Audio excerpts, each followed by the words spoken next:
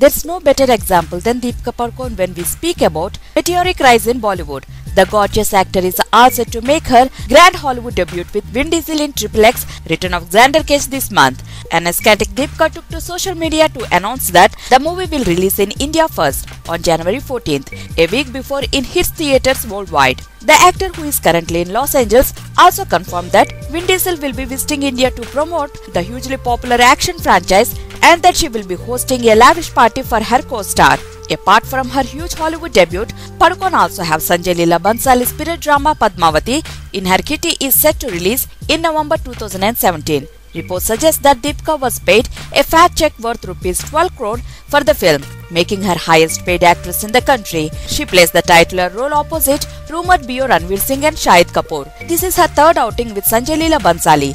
The two previous collaborations, Goliyon Ki Raasleela Ram-Leela in 2013 and Bajirao Mastani in 2015, were both blockbusters and fetched Deepika several awards.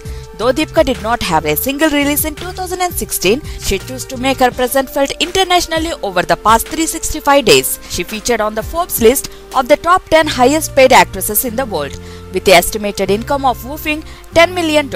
She also became the most followed Asian on Twitter. What's more, she consistently wooed people with her impeccable style statement and red carpet events across the globe. To know more about Bollywood news, do not forget to subscribe our channel.